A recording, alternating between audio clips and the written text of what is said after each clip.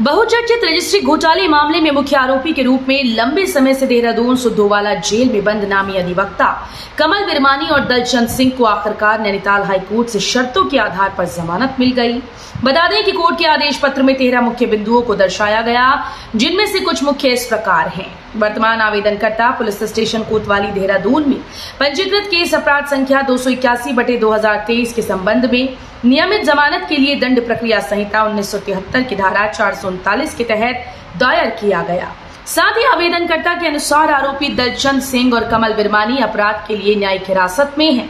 साथ ही आरोपियों पर भारतीय दंड संहिता 1860 की धारा 120 बी 420 467 468 और धारा 471 में केस दर्ज किया गया।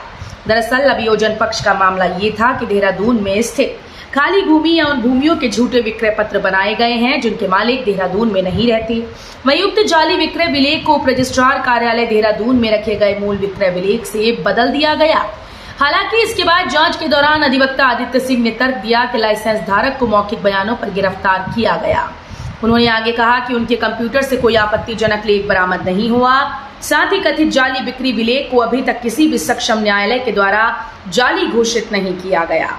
बता दें कि आवेदक देहरादून का एक वरिष्ठ सदस्य है, जो लगभग 27 वर्षों से वकालत कर रहा है और उसका करियर भी बेदाग रहा। साथ ही 27 आठ 2023 से न्यायिक हिरासत में है। हालाँकि आरोप पत्र पहले ही दायर किया जा चुका है, इसलिए सबूतों के साथ छेड़छाड़ की कोई संभावना नहीं।